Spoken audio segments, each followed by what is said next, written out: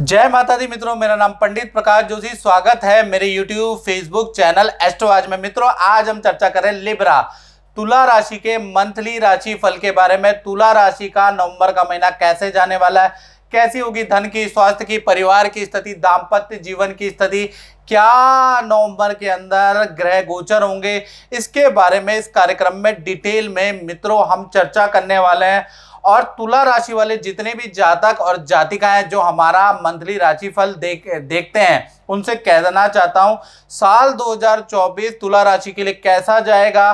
भाई 12 भविष्यवाणियाँ, एक नहीं, दो नहीं, बारह भविष्यवाणी, यानी बारह घटनाएँ साल 2024 में तुला राशि के साथ में घटने जा रही है, यानी कि बहुत बड़ा कुछ होने वाला है। गुरु चंडाल दोष खत्म हो गया, आपके ऊपर से ढैया खत्म हो गई तो बहुत बड़ा कुछ आपके जीवन में परिवर्तन होने जा रहा है साल 2024 में। वो क्या होने जा रहा है उसके लिए, आप मेरे यूट्यूब चैनल एस्ट्रो आज में जाकर वो वीडियो ज़रूर देख ले, साल 2024 की 12 भविष्यवाणियाँ। चलिए आप नवंबर के महीने में बात कर लेते हैं। सबसे पहले बात करते हैं स्वास्थ्य की। तो स्वास्थ्य भाव में ये कुंडली आ रही है जैसा आप देख रहे हैं तुला राशि की।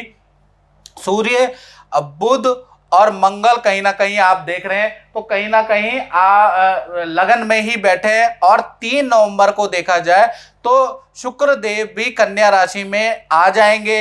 यानी कि आपके बारहवें भाव में आ, में तुला राशि के बारहवें भाव के अंदर शुक्र देव रहेंगे तो नवंबर का महीना एक तारीख से लेकर तीस नवंबर तक देखा जाए, कई खुशखबरी देने वाला रहने वाला है, यानी कई खुशखबरी आपको मिलेगी।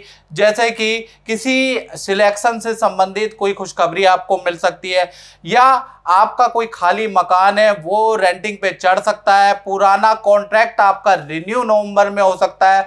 साथ ही साथ देखा जाए, जो भी आपकी बिगड़ी थी, वो पटरी पे फिर दोबारा आ जाएगी। दोबारा आपका ट्रैक अच्छा हो जाएगा। साथ ही साथ हेल्थ देखा जाए, थोड़ा कफ की प्रॉब्लम गैस की प्रॉब्लम तुला राशि को सदाबार है। बाकी देखा जाए हेल्थ नवंबर के महीने में वेल एंड गुड रहने वाली है। बल्कि जो आपके काम में रुकावट थी, जो काम आपका बन नहीं रहा था तो नवंबर में वो अब आपके, आपको सकारात्मक रिज़ल्ट मिलने वाले हैं।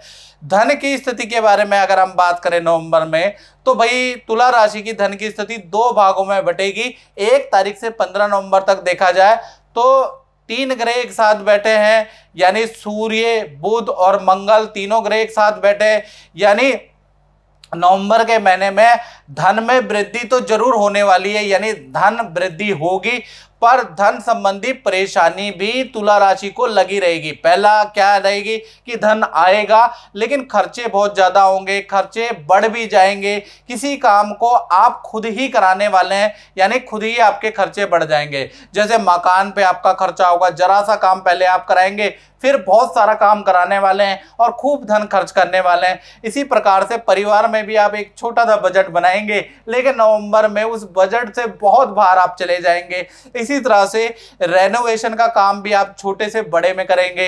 इसी तरह से कर्मचारी पे भी आपका खर्चा होगा। यानी खर्चे बहुत ज़्यादा होने वाले हैं और आय थोड़ा कम होगी। तो कुल मिला देखा जाए तो पंद्रह तक आप थोड़ा टाइट रह सकते हैं। जय माता दी विनोद जी। मैं आपसे ये पूछना चाह रहा हूँ कि आप गुरुजी से मिले हैं तो कैसा आपका अनुभव और क्या लगा आपको?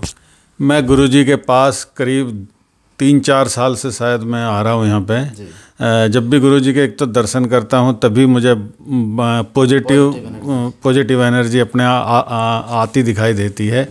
और जो गुरुजी ने उपाय बताए हैं वो अगर मैं कर लेता हूँ तो वो काम बन जाता है। वैसे आमतौर पर वो उपाय मैं आलकस या ड्यूटी की वजह से कई बार कर नहीं पाता हूँ। ये मेरे साथ प्रॉब्लम रही है लेकिन जो गुरुजी बता रहे हैं आजकल मैं उपाय पूरी चेष्टा करूँगा उनको पूरा करने के लिए। जी जी।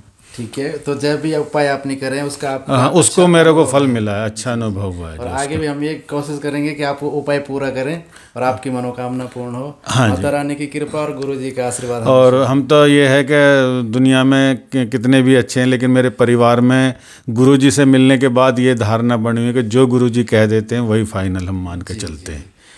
चलो बहुत हम कहें जी। जय माता दी। जय माता अब हम बात कर लेते हैं लेकिन पूरा नवंबर का मही, का महीना धन का फ्लो बहुत अच्छा है। धन कमाने में कोई कमाई में कोई परेशानी नहीं है तुला राशि की लेकिन खर्चे बहुत होंगे और पंद्रह नवंबर तक तो बहुत ज़्यादा। अब हम बात कर लेते हैं पारिवारिक स्थिति की। तो पारिवारिक स्थिति में देखा जाए तो घर में आपके हल्का रेनोवेशन का योग नज़र आ रहा है। साथ ही साथ परिवार के साथ में आप किसी तीर्थ यात्रा में जा सकते हैं, किसी तीर्थ मंदिर में आप दर्शन के लिए नवंबर में जाएँगे या नदी पहाड़ों की यात्रा तुला राशि वाले नवंबर में करने वाले हैं।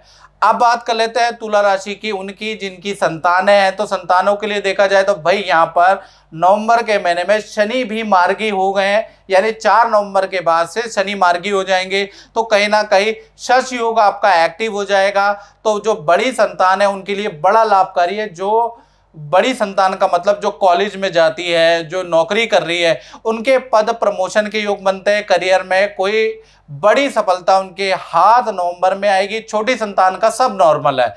अब हम बात कर लेते हैं तुला राशि वाले विद्यार्थियों के बारे में स्टूडेंट के बारे में। भाई, उनका देखा जाए, नवंबर का महीना एक जगह पे माता पिता के साथ भी आप रहने वाले हैं माता पिता की सेवा भी करने वाले हैं माता पिता को खुश करने वाले हैं। नवंबर के महीने में और विद्यार्थी माता पिता को कोई सरप्राइज़ गिफ्ट गिफ्ट भी नवंबर के महीने में आप लोग देने वाले हैं। साथ ही साथ मित्रों के साथ में अचानक आपका प्लान हिल स्टेशन में जाने का बन सकता है या तीर्थ यात्रा में जाने का भी बन सकता है। यानी देखा जाए तो एक तरफ़ आप नवंबर का महीना कुछ समय माता पिता के साथ, कुछ समय मित्रों के साथ बिताने वाले हैं।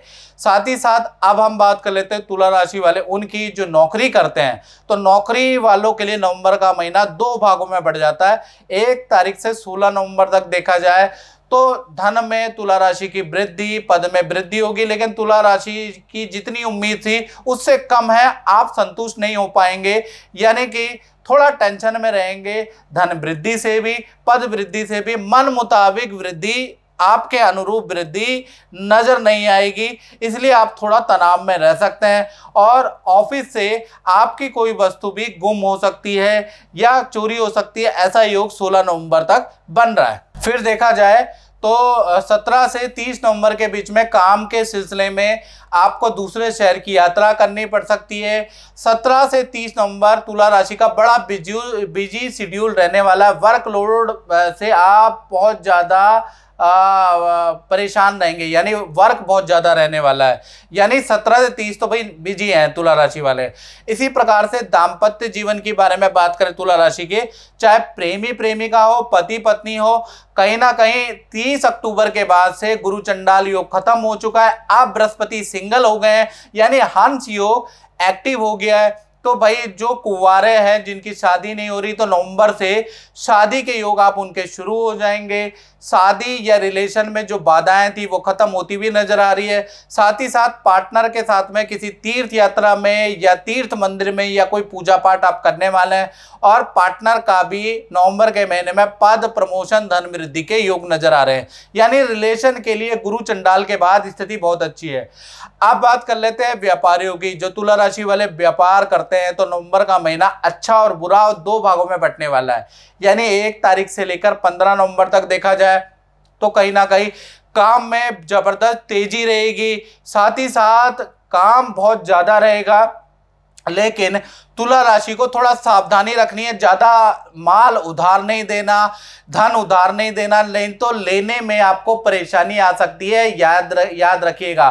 तो धन का फ्लो या आपकी सेल का फ्लो आप कैश फ्लो रखें या ऑनलाइन फ्लो रखें, लेकिन उधार माल ज़्यादा ना दे, नहीं तो आपको बाद में बड़ा दिक्कत होगी। 16 तारीख से लेकर और 30 नवंबर तक देखा जाए, काम आपका नॉर्मल रहेगा, काम के सिलसिले में आपको पानी की यात्रा करनी पड़ सकती है।